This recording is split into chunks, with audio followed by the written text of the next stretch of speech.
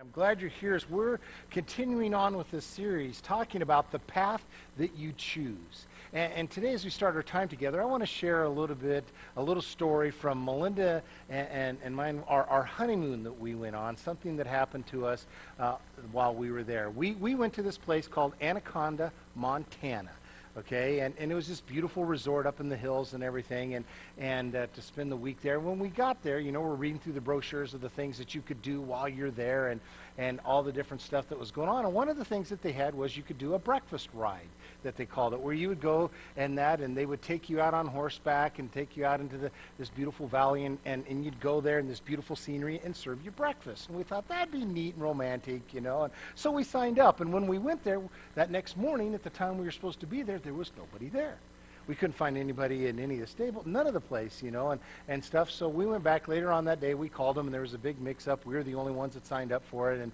and they felt really bad. So they said, "Can you come back this afternoon, and we'll we'll just let you go out on a free ride all by yourself, and and, and that kind of stuff, and not charge you for any of it." So we were like, "Cool." So we went back that afternoon, and and the guy, the hand that was there, was talking to us and and wanted to know if we had experience. And Melinda was raised around horses and ridden them and stuff like that, and and, and stuff. And so he put her on a horse called Rambo and stuck her out in, in the corral and, and watched her ride to make sure she could handle the horse and knew what she was doing and stuff like that. And I told him was only, this will only be my second time ever being on a horse.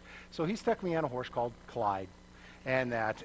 and, you know, you laugh now. He stuck me on a horse named Clyde, and he said, Clyde is a great trail horse. Wherever Rambo goes, Clyde will faithfully follow. And that, so he put me out there also and had me do some things and show me some things how to guide him around. And, and, and he says, all right, this is what you're going to do. You're going to go down this gravel road here for about a mile, and then you'll see a clear sign to your left where the path will go off on a trail. These are trail horses. They put them in the direction. They'll know where to go. You put them on that, and they will take you around the path through the mountain about a you know, about a two-hour ride, and just go and enjoy yourself. So we thought, great, and we headed down the gravel road, and about three-fourths of the way down and stuff, we're going, there's this guy working on his house, and he decides to hit this drill or not drill, excuse me, the saw cutting this piece of wood. And I don't know why, for some reason, Rambo was just fine with the sound. Something about that sound Clyde did not like. And Clyde decided to stand up on his hind two legs to let the gentleman know he didn't like the sound. So I hugged, and Clyde and I became BFFs before BFFs were even invented. I hugged his neck and hang on, you know, for dear life and stuff. He dropped down and he dropped back up again. And finally the guy saw what was happening, you know, and he stopped and he waved like, oh, hey, I'm sorry. Now, Melinda in front, she has no idea. She's like, oh, hi. you know, like, oh, the people are so friendly here, you know. And, and we went on our way, found the path, and we're going for about another half hour. And as we're on this, this, this trail, this path, we look down and we see this other windy path that goes down to this beautiful stream that was down there. Melinda turned around. She says, hey, why don't we take the horses down there and get a picture of us with the horses down by the stream? And, and here's, here's us down by that stream. Here's a picture of us, okay? Isn't that so sweet? Uh, haven't changed a bit, have we? you know, there, there Melinda is with Rambo. There I am with Clyde. The stream's off. You can't quite see it in that picture. So, but anyhow, we took this picture. We got back on our horses. I got on Clyde. Clyde starts to go back up on this windy path and he stops waiting for Rambo. And I look down and there's Melinda and Rambo in an argument. Rambo's like, uh-uh. I, you stopped the direction I was going. I want to go back the way I came. I want to go home. And they're in this argument so severe and bad, I'm thinking to myself, who did I marry? Watching her deal with this horse and smack this horse. I'd never seen anybody punch a horse, you know, before and stuff like that. And I'm thinking, happy wife, happy life, here we go, and all this other kind of stuff. And finally she says, fine. And she kicks him in the side and says, you want to go up the side of the mountain? Let's go. And he flies by Clyde and I. And just then, you ever have those moments where certain things pop back into your mind in a second? I remembered what the ranch hand said. Clyde is an excellent trail horse. He will follow Rambo wherever he goes. Sure enough, he shoots by, and there goes Clyde. I'm going too. once again, we became BFFs is in, and close, and we get to the top and stuff like that. And my loving wife, who I just married, we'd only been married for a few days now at this particular point, you know, she just looks at me and is busting a gut laughing, thinking it's the greatest thing she'd ever seen. So we get going a little bit further, you know, on the trail. Things are going pretty uneventful the rest of the hour and a half. But we come to this clearing. Here's another picture. That you could see with it there. We're at this clearing, and you can see in mine, if you see way down there, there's, there's kind of the home, and off to the right of that home, and that is where the barn and everything they want to go. Now, you see my horse Clyde looking in a direction that he's not supposed to be looking and that. And as we take these pictures, they start to speed up. And we're not telling them to speed up. And Melinda says, you got to pull back hard because they want to get, they know where they're at. They want to get to that barn. They want to get to their food and water and get us off their backs. That's all they're concerned about. And if Clyde would have continued in the direction he was going, it was not a good direction to be going in necessarily for him, but even more so for me, especially going downhill at that speed with it and stuff like that. And so we had to, you know, get him on the trail to the left there, the road to the left. And it took a while and it took a fight, but we got him to where we needed to go. And with much effort, we got him back, you know, in, in, into where they needed to be. And as I was getting off, the guy was helping me off the horse. I said, hey, you need to rename this. This is not Clyde, this is Demon.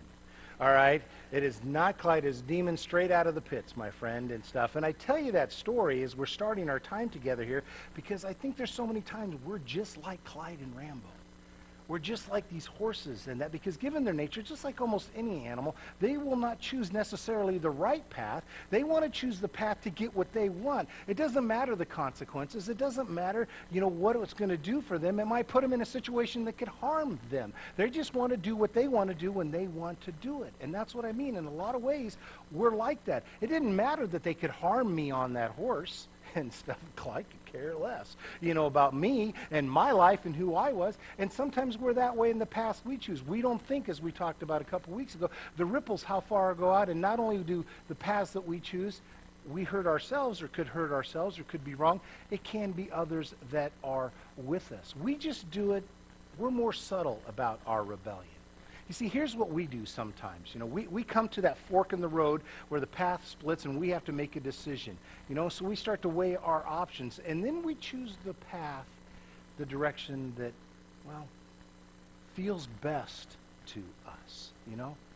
The path that that that the, the path may not be that we choose may not be the best path for us. So soon after we choose that path, what we start to do is we start to put our minds to work to figure out reasons or to say what we say to justify why we're going down this path that maybe isn't the best path for us in our life, whatever that is, financially, relationally, whatever. I mean, we all do this. Ten fingers pointed here. We've done this at different ways and times. I mean, think about this. Have you ever known anybody, or maybe you've done this? You know, you got this car and you're thinking, man, this crazy thing is a gas guzzler with the prices of gas and everything, I can't afford to drive this gas guzzler. I need to trade it in on something more efficient, more economical. So you trade it in and drop twenty to twenty-five thousand dollars on a loan on this more efficient model of a car. And you know, as you drive your more new efficient model, you could drive it for 35 years, and the difference in gas consumption would still not add up to the twenty to twenty-five thousand you went in debt for. You understand what I'm saying? Or our phones, you know, these cell phones, you know. You, you ever you ever find yourself it's like, man, my cell phone, you know, it's not it's not holding charge all day long. I have to plug it in maybe for a half hour to an hour to get the battery back up. You don't understand my lifestyle. You know, I can't be connected to a wall for that amount of time. I got to get a new phone. You know, and so we justify going and dropping 600 to 1,000, depending on the phone that you have, instead of 60 to 100 for a new battery. I mean, we all do decisions like that. And then we find ourselves asking the question, or hear ourselves asking the question, how in the world did I end up where I'm at? How in the world did I end up on this path? Why are these things happening to me? Great questions. I've asked that of myself sometimes. I hear people ask that all the time. And I think Andy Stanley has a great answer to that question. In one of his books, Andy Stanley, he said this. Our problem, our problem rarely stems from a lack of information or insight. It's something else, something we don't outgrow, something that another academic agree, degree won't resolve. Our problem stems from the fact that we are not on a truth quest. That is, we don't wake up every morning with a burning desire to know what's true, what's right, what's honorable. We are on a happiness quest. That is, we want to be, as in feeling, we want to feel or be happy. And our quest for happiness often trumps our appreciation for and pursuit of what's true. So that question, why am I on this path? How did I get on this path? Why do we find ourselves on the wrong path? Andy Stanley says for these two reasons. Our heart is on a happiness quest, not a truth quest. or our heart chooses the happy now rather than the happy later path. And if you stop and think about it, isn't that true? I mean, I know that can be frustrating to hear those things. I know it can almost, you can almost take exception when you hear those kinds of things. It almost seems like it's judgmental. But if we put the brakes on and we stop and we get honest and evaluate our life, like I'm always asking you to do, don't we find, I'm not saying all the time, but don't we find ourselves many times doing that? I heard this example about this at a conference a while back. The speaker, he said, I'm going to put myself on the chopping block. And he said, I want to I want to speak specifically to you coffee drinkers, he said. He goes, what is it all about? He said, my coffee choice costs me about four bucks a day. That's ridiculous, he said. You know, he said, some people have even told me that's inexcusable in light of the needs of the world. He says, because that's $80 a month as long as I don't buy that coffee on weekends at this store that will go unnameable, or I only buy one cup a day. 80 bucks a month. He says, I could sponsor two kids from Compassion International for what I spend on this coffee. He says, what is wrong with me? He said, well, I'm on a happiness quest. And soy lattes contribute to my happiness, so I'm willing to do that. That's the illustration of, of what you know Andy was saying in those points of, of what we struggle with each and every day. And as smart as we are and as aware as we are that life is connected and the decisions today shape the experiences of tomorrow, many times we don't wake up in the morning in search of truth, insight, and enlightenment. We get up and we want to do the things that what? Going to make me happy, you know? We're all at different times, at different points, for different reasons, we find ourselves on this happiness quest. And it's not necessarily wrong all the time. There can be things that make us happy that can be good. Like, again, Melinda, she, she loves to go biking. You know, she loves to go out and, you know, she'll bike three, four, five, six miles. You know, that, that makes her happy. But that's a good thing because biking gives her what? Exercise. It helps keep her healthy and gives her exercise. So something that she likes that makes her happy is also something that blesses her in her health. That's where it works. But in the same breath, she will also tell you that chocolate makes her happy. and probably more happy than riding a bike. And if she decided to pursue that path every day, that wouldn't be a good thing. And it's at these forks of the road that we come, and, and, almost every decision is a fork in the road, when happiness points us in one direction, while wisdom and truth and integrity and common sense points us in another, that's when really smart people start doing stupid things. That's when the happiness quest becomes dangerous, you know, in our life. Is this making sense? Two weeks ago, two weeks ago when we started this series, we said that there was this unbreakable principle that's simply this. Your direction determines your destination.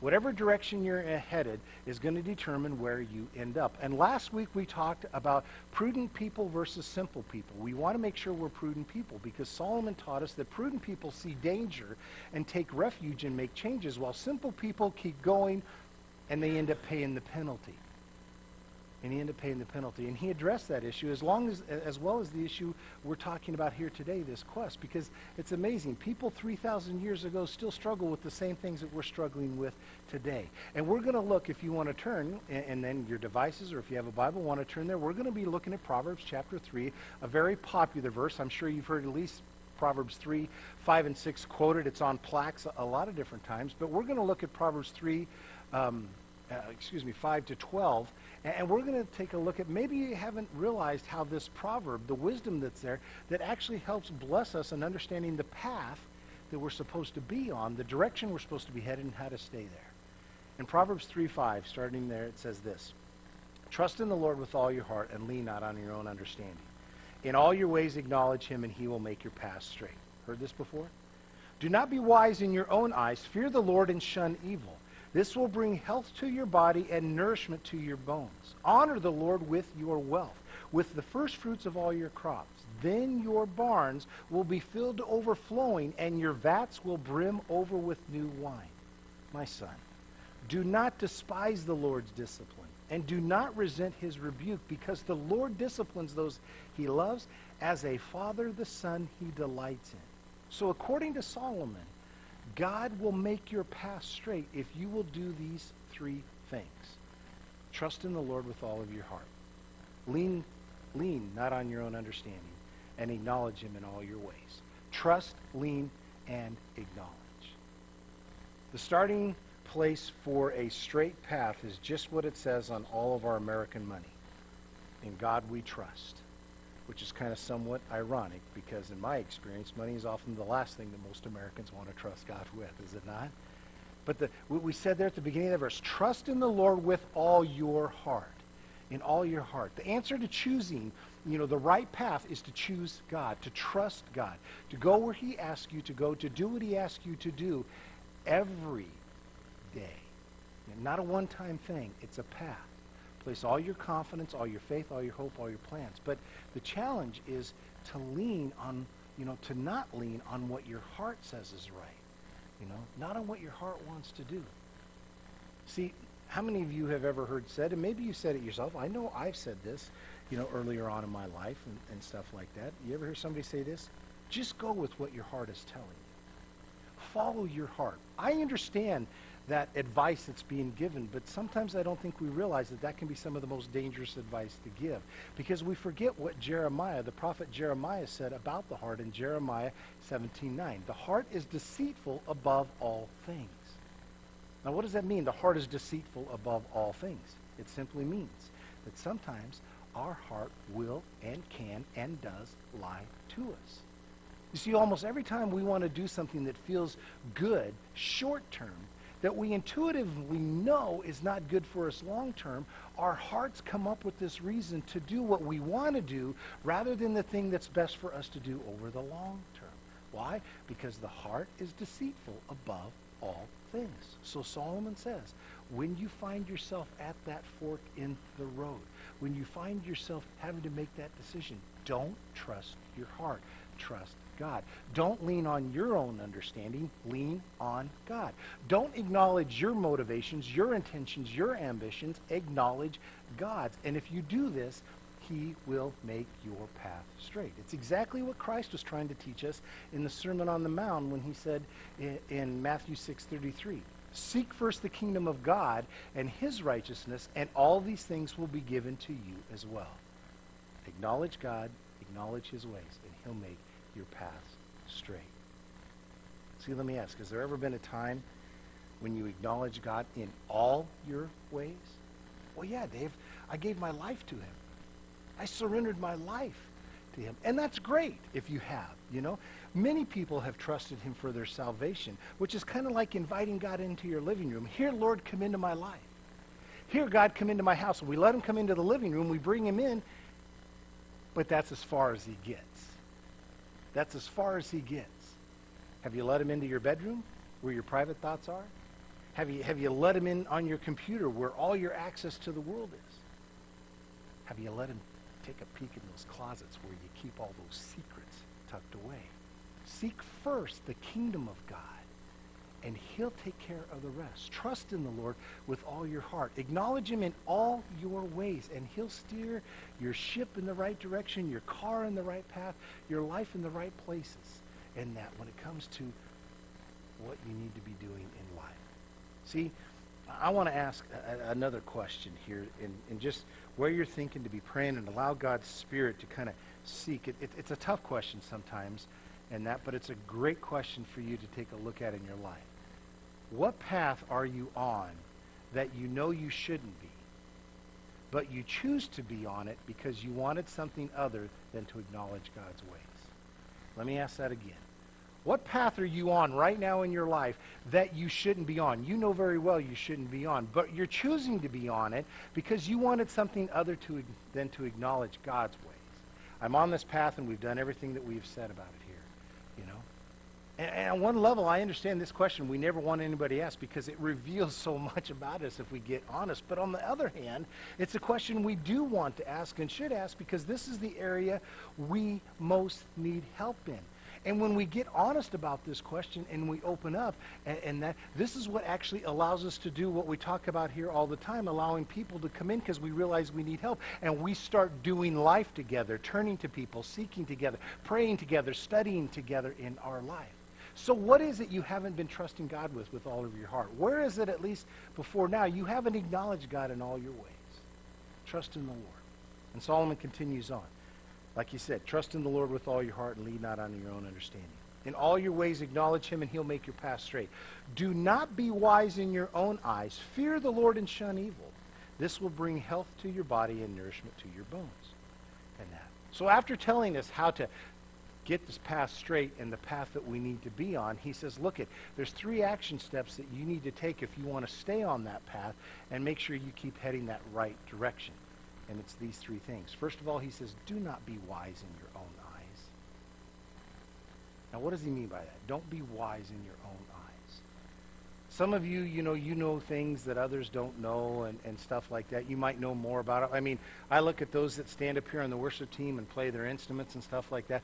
I, musically, I, I, yeah, I don't know notes don't understand, you know, music theory and any of that kind of stuff. Never have. Not saying that I never can. I've never studied on it. Many of you can address it and teach it and, and are much more wise and understanding when it comes to that whole musical aspect, much more schooled. Some of you could actually stand up and teach on it and stuff. And there's areas of my life that's the same, that aspect that maybe I have in areas of your life. We all have those areas that maybe we know someone that we can do that. But God's saying, listen, don't ever think you're so wise that you know so much that you've got it all together that you never ever need to turn to God and ask his help. Don't ever think you have it all, know it all, understand it all. You may be good in what you're doing. You may know in what you're doing, but don't ever get so confident that you think you know it all and don't need God's help. God's leading, God's guiding, God's direction. Don't become so wise in your own eyes, is simply what he's saying.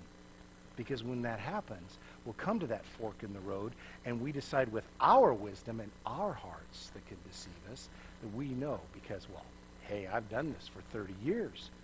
I know what's right. Well, but you could be on a happiness path. You could be seeking happiness at that particular moment. You need the wisdom of God to know why you need to go right instead of left. So don't be wise. And secondly, honor God's provision for you. Honor God's provision for you. Verse 9, he said, Honor the Lord with your wealth, with the first fruits of all your crops. Then your barns will be filled to overflowing, and your vats will brim over with new wine. Honor God's provision. You know, it's all God's anyway, is it not? And I don't think I, I really need to dress a whole lot about this. I think the scripture is pretty clear of what it's saying. I know people today get frustrated. You've heard, heard people say it before. They don't want to go. All the church does is want your money. All the church talks about is money, preaches on money, all that other kind of stuff. Well, okay, it's not necessarily the church's fault. You can't blame the church over that aspect with it. God talks a lot about it. Here's one aspect. People get mad because, well, why should I tithe? Well, gosh, I don't know. God said it. I didn't put that in there. Don't be mad at me. Yes, man wrote it, but it was inspired by the Holy Spirit. So God's the one that stuck it in there. There's a reason there's a reason that this all knowing, all powerful God understands why he asked us to do this, to bless, to give a part of your first fruits back to him. Because he knows the blessing, he, he doesn't need it, but he knows the blessing it brings to us and what can happen when we believe, when we step out in faith, and when we do this, and we see that, hey, my God is providing all my needs according to his riches and glory. Wow, I can really trust God in this matter, in this fact, in this area. Wow, it's not me, it's not the church. This is it's God. Enough said. you know, and that when it comes to that. And the third thing he said was, don't blame God for your pain. This is a hard one. Don't blame God for the pain you're having in your life. He said in verse 11, My son, do not despise the Lord's discipline and do not resent his rebuke, because the Lord disciplines those he loves. As a father, the son he delights in. Sometimes Sometimes we cause what's happening to us. And sometimes God knows that we just need some strong correction, you know, in our lives. And he will allow things to happen. But don't blame God for our pain. I've heard people say, I know I have said when things have happened in my life, I've heard people say, well, why, why did God or why is God allowing this to happen to me? And usually at that point, I'm too much caught up in my own pain or my own self to really hear the truth at that moment. And the truth is, in most cases, God didn't allow that to, or God didn't let that happen to me. God didn't want that to happen to me. Maybe even God tried to prevent that from happening to me, but God, because of my free will, God couldn't stop me. Because I was trying to be wise in my own eyes. I was deciding that I was living on the happiness path instead of looking for, I was on a happiness quest instead of a truth quest. And God was making it clear that this is the way you need to go, not this way, but this is what I want. And so I listened to my heart, and my heart lied to me and deceived me, and I justified why I needed to do this kind of thing. And I went down there, and all of a sudden I ended up in pain and agony or whatever it is. And, and you know, God's there the whole time through it, but you know, it wasn't God that I need to blame for that aspect. We have a friend that several years ago, he lost his job and, and he had a very good paying job and his family was living very well. And he lost his job and he kind of went through this. And I would call and talk with him, you know, and, and once a week or every other week and we'd talk about it, see how things are going, and we'd pray about it. And, and this is what he said to me in that a text that he actually he sent. He says, you know, we were doing so well in that. I'm in that. But the problem is we were ignoring some of the most important priorities in life. Now, I'm so much more focused on my wife and my children. Yes, I'm working hard to get a job, but this time of unemployment has been so good for redirecting my values to where they should have been. Now, he wrote this to me. Those words, this time of unemployment has been so good. Their house was foreclosed and they lost their house. A nice house and stuff. They had cars and all this. And where they had to move and what their situation they were actually he moved back in at the age of 45 him and his wife and, and, and two kids moved back in with his parents from making all this money and this is what he writes to me through that aspect you know he didn't blame god for the pain that he was in for what was happening within his life he realized he chose a path that wasn't right. He listened to his heart that lied to him. He was seeking out after happiness and not the truth. And it led him to where he was. And then through this, through this discipline of a God who loves him and cares for him, who was there through the whole journey, he understood what really needed to be happening, and life was changed. Because the Lord disciplines those he loves, like a father does with a son he delights in. So, my friends, don't be wise in your own eyes. You know, honor God's provision for you and don't blame God for your pain. Those are Solomon's suggestions. If you want to understand the path you need to be on, the direction you need to head in that path, and how to stay on it, listen to some wisdom that, Sol- that God gave Solomon that is there for us today to live our lives by in that. And those horses that Melinda and I took for a ride on our honeymoon, or maybe took us for a ride, depending on how you look at it, they didn't want to follow the path that had been chosen. They wanted their path. And I suspect that if we had let Rambo and Clyde choose their path, they would have headed in a direction and a speed that wasn't good for them, but even more importantly, wasn't good for us. And as the worship team gets ready to come back up here to continue to lead us to sing to a God that has a path for you, that loves you and cares for you, and has a direction for your life that's better than anything we could ever hope, ever imagine, ever dream, has things that he wants us to do and that, and as we continue to sing out to that, there is a path that God wants us to be on. And I want us to make sure, you know, that we're being honest with ourselves. I want us to make sure, you know, that we're not going the way we want to go, doing the things we want to do, but we're doing what God has asked of us to do. I guess I'm saying, let's make sure we're not Clydes and Rambos.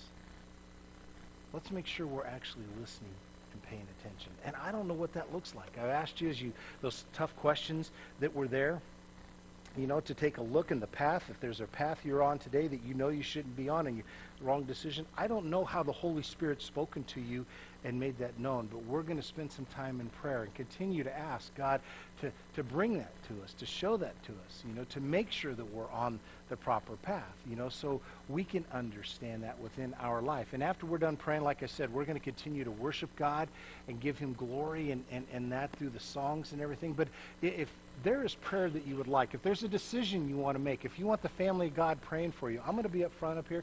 Come on up. If not, if, if there's people you want to talk to afterwards about this and stuff, that's great. That's, that's what you heard me say. We're here to do life together, to try to understand how to make these.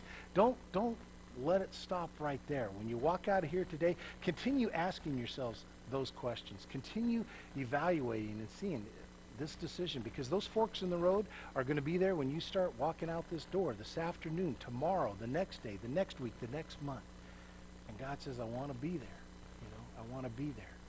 But are we trusting him with all of our heart, leaning not on our own understanding? Let's go before him right now. Father, thanks so much that we could be in your presence. Father God, a real living real living God and Savior that is there with us and is there for us and that has blessed us in so many ways. I thank you that we could come into your presence and through the words of our song give you the praise and glory and honor you deserve, but also come and be reminded of your word, Father God, that is there. And, and, and Father, the blessings that you have for us and, and the life that you've created for us to live. And I pray, Father, as we just take this time, your word, Father, will just cut to our heart and help us see, help us evaluate, help us ask those tough questions. Are we really going in the direction, living the life you want us? Are we on the path you want us to be on? If not, why not? And if not, how do we change uh, that direction right now? How do we become those prudent people that are willing to make that change no matter what? And not the simple people that are just going to go and pay the consequences, Father. May that wisdom fill us right now at this time, Father, and help us to understand decisions that need to be made, directions that need to be changed, then may you fill us not just with your wisdom, but your strength to step and put those, put that all into emotion, Father. Oh, Lord, again, I thank you for this time. I thank you for this celebration. I thank you for your love. It's in Christ's name we pray. Amen. Please stand with us as we sing.